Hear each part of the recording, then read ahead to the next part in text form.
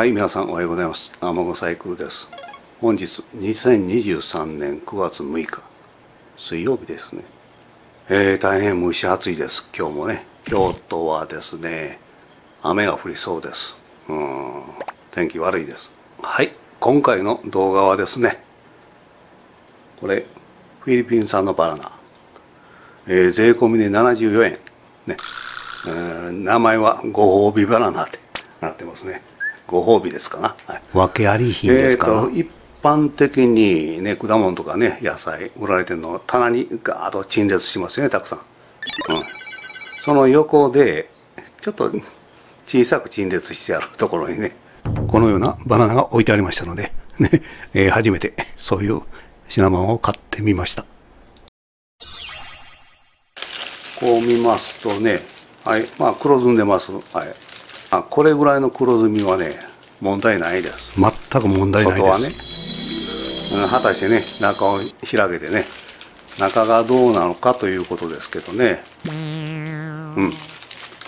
以前にもね、えー、黒ずんだバナナ 食べれますよというような、ね、この真っ黒けなバナナね。これはもう真っ黒けでしたね。それではね中を見てみましょうかね。うん。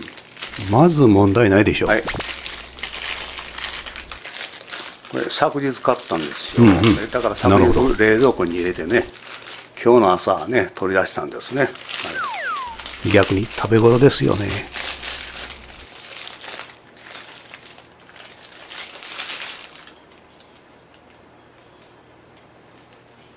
はあ。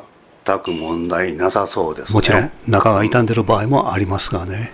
バナナの生命力はすごいんですよこれね全く問題ない、うん、味は？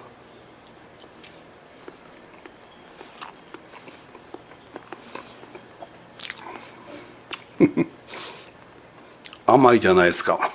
そう。食べ頃でした。全然問題なくいただけますよ。うん。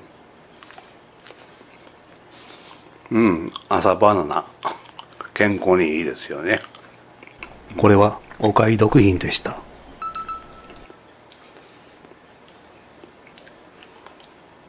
税込み74円のねフィリピン産バナナ。全く問題なかったですね。これからもね、えー、たまに買うことにします。はいありがとうございました。